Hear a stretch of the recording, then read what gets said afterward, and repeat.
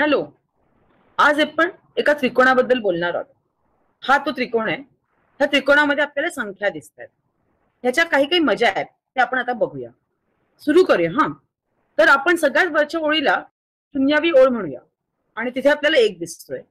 या एकला आपण अकराचा शून्यावा घात असं म्हणू शकतो. पहिल्या ओळीमध्ये एक आणि एक असं दिसतंय. म्हणजे त्याला अकरा म्हणून तो अकराचा पहिला घात होतो. दुसऱ्या ओळीमध्ये एक दोन एक आहे.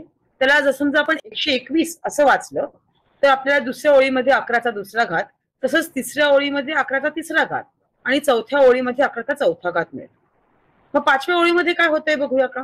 मिळेल का आपल्याला अकराचा पाचवा घात? पाचव्या ओळीमध्ये एक पाच दहा दहा पाच एक अशा संख्या आहेत. आणि अकराचा पाचवा घात तर हा नाही आहे म्हणजे काहीतरी गडबड होतीये. आपण ह्याच्याकडे ना परत येऊया आणि बघूया आपण कसं करू शकतो की अकराचा पाचवा घात मिळेल आपल्याला पाचव्या ओळीत. पण त्याच्या आधी हा त्रिकोण बनतो कसा ते बघूया. आपण सुरुवात करूया एकनी आणि मग प्रत्येक ओळीच्या उजव्या आणि डाव्या बाजूला आपण एक एक लिहायचं. म्हणजे की शून्यव्या ओळीमध्ये एक मग पहिल्या ओळीमध्ये डाव्या आणि उजव्या बाजूला एक एक मग दुसऱ्या ओळीमध्ये पण डाव्या आणि उजव्या बाजूला एक एक मधली जी संख्या आहे तिथे वरच्या एक आणि एक ची बेरीज करून दोन लिहायचा. असंही आपण त्रिकोण बनवत जायचं. एक आणि एक दोन. एक अधिक दोन तीन. दोन अधिक एक तीन. एक अधिक तीन चार. तीन अधिक तीन सहा. तीन अधिक एक चार. आपला त्रिकोण बनला. आता पाचवी ओळ काय असेल बघूया. डावीकडे आणि उजवीकडे एक एक लिहूया. नंतर एक अधिक चार पाच. चार अधिक सहा दहा. सहा अधिक चार दहा. चार अधिक एक पाच. आणि मग आहेच आपला उजवीकडे एक. म्हणजे एक पाच दहा दहा पाच एक अशी ही ओळ येते. हा तो त्रिकोण आहे. या त्रिकोणामध्ये अजून एक मजा आहे. ती बघूयात आपण. त्याच्या आधी थोडासा वेळ आपण नित्य समानता बघूया.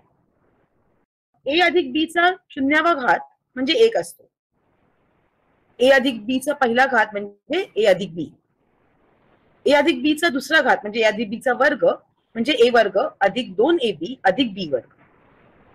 ए अधिक बीचा तिसरा घात म्हणजे घन बरोबर? ए घन अधिक तीन ए वर्ग बी अधिक तीन ए बी वर्ग अधिक बी चा घन. बरोबर ना? आता ह्या नित्य समानतांचा आपल्या त्रिकोणाशी काय संबंध आहे ते आपण बघूया. दिसतोय का काही संबंध तुम्हाला? हो की?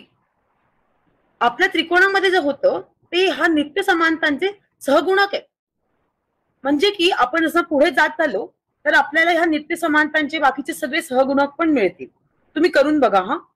तिसऱ्यासाठी आपण बघितलंय चौथ्यासाठी पाचव्यासाठी करून बघा.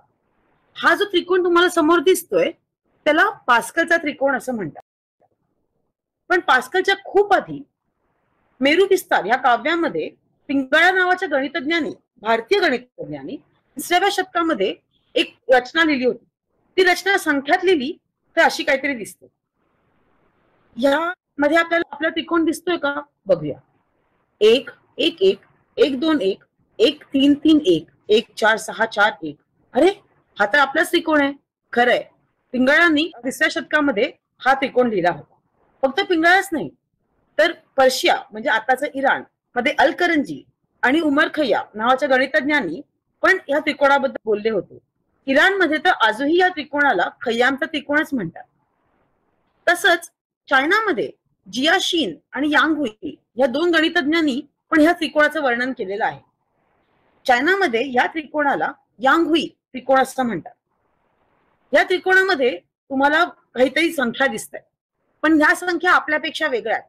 आपल्या त्रिकोणाबरोबर तुलना करून बघा चायनी संख्या कशा लिहितात ते. ठीक आहे. आता आपण ते पाचव्या ओळीकडे परत येऊया. आणि बघूया की तिकडे काय गडबड झाली होती आणि ती गडबड ठीक कशी करता येईल. हा तो त्रिकोण होता. शून्यावा ओळीमध्ये एक अकराचा शून्यावा घात. पहिल्या ओळीमध्ये एक आणि एक होतं त्याला आपण अकरा म्हणतो. म्हणजे काय केलं आपण? तर आपण उजवीकडच्या एकला दहाच्या शून्याव्या घातांनी गुणलं आणि डावीकडच्या एकला दहाच्या पहिल्या घाताने. म्हणजे दहा अधिक एक अकरा. बरोबर? अकराचा एक पहिला घात. दुसऱ्या ओळीमध्ये एक दोन एक असं संख्या होती. मग आपण उजवीकडून डावीकडे जाताना दहाच्या शून्याव्या घातापासून दहाच्या दुसऱ्या घातापर्यंत गेलो आणि त्या संख्याना त्यांनी गुणलं तर आपल्याला मिळालं शंभर अधिक वीस अधिक एक म्हणजे एकशे एकवीस जो अकराचा दुसरा घात आहे. तिसऱ्या ओळीमध्ये काय झालं? आपल्याकडे एक तीन तीन एक होता. तिथे पण आपण दहाच्या शून्याव्या घातापासून दहाच्या तिसऱ्या घातापर्यंत जेव्हा गेलो तेव्हा आपल्याला हजार अधिक तीनशे अधिक तीस अधिक एक म्हणजे एक हजार तीनशे एकतीस म्हणजे अकराचा तिसरा घात मिळाला. तसंच चौथ्या ओळीमध्ये दहाच्या शून्याव्या घातापासून दहाच्या चौथ्या घातापर्यंत गेलो तर आपल्याला परत अकराचा चौथावा घात मिळतो. मग हेच ह्याच आपण पाचव्या ओळीतल्या संख्यांबरोबर केलं तर पाच अकराचा पाचवा घात मिळेल का? बघूया. पाचव्या ओळीमध्ये एक पाच दहा दहा पाच एक अशी संख्या होते. परत आपण उजवीकडून डावीकडे जाताना दहाच्या शून्याव्या घातापासून दहाच्या पाचव्या घातापर्यंत गेलो तर ह्या सगळ्या संख्यांची बेरीज केली तर आपल्याला मिळतो अकराचा पाचवा घात. म्हणजे तो आपला घोळ झाला होता तो आपण ठीक केला की नाही? हाच त्रिकोण आपण पुढे लिहित गेलो जसा असा दिसेल तो. तर बघा अकराचे पुढचे घात मिळतात की नाही? फक्त ते नाही या त्रिकोणामध्ये अजून पण खूप मजा दिसते तुम्हाला. त्या शोधायचा प्रयत्न करा. थँक्यू